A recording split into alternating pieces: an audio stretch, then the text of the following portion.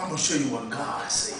Turn to Deuteronomy 21. I, I read this this morning. I said, Lord, this is Deuteronomy 21. Look, at verse number 10. It's really interesting. Because God knows we'll see creatures.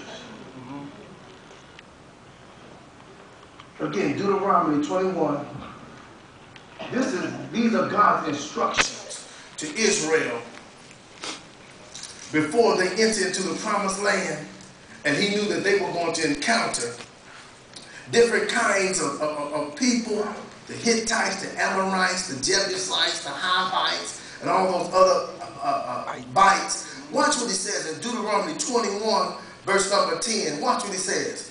When thou goest forth to war against thine enemies, listen to this. And the Lord thy God had delivered them into thy hand. So you won the war. And thou hast taken them captives, they your slaves. And seeing among the captives what?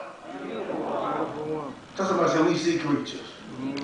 Here, here, here, God is saying, man, when you are in a war and you overcome your enemies and, and you make them your, your slaves, and you see a beautiful slave, because you will see creatures. That's what he says. This is this blew my mind. and seeth among the captives a beautiful woman, and has a desire unto her, and that thou wouldest have her to thy wife. Watch what God said. Then thou shalt bring her home to thine house. And she shall shave her head and pare her nails.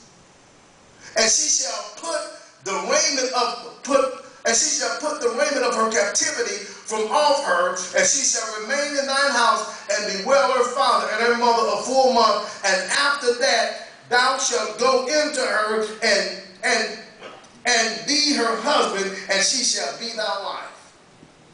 God said, I know what y'all gonna do. When you win these wars, you, you take people captive, y'all gonna see some beautiful heathens. and that's why you gonna want them, because they're so pretty. He said, I won't let you marry him. Now, I'm not telling y'all to do that what they are saying. I'm just showing you the power of attraction. That's right. The power of appearance. Mm -hmm. Because we see creatures. Most women don't rank attractiveness as high as men do. They may want their men to look decent, but women often fall in love with men who are not as attractive as, as you would think that a particular woman would require. I've often seen very beautiful women with less than average looking men. Have y'all ever experienced that? And he said, get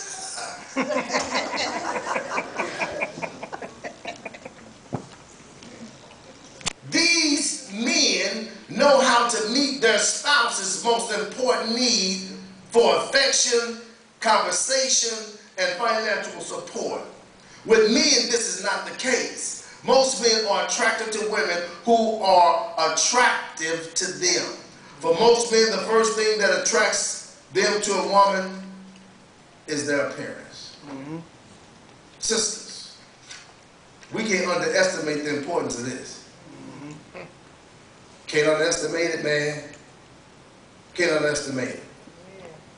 Sisters, here's some things that you can do to keep yourself